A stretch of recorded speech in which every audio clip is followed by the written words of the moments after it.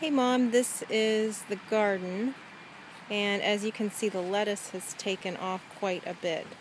It's green leafy lettuce. One of those is zucchini.